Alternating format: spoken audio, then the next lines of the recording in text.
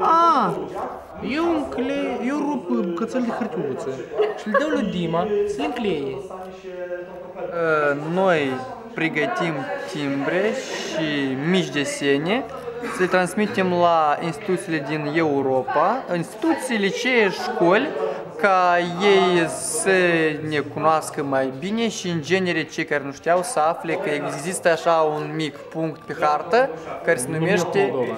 care se numește Moldova, da. Da?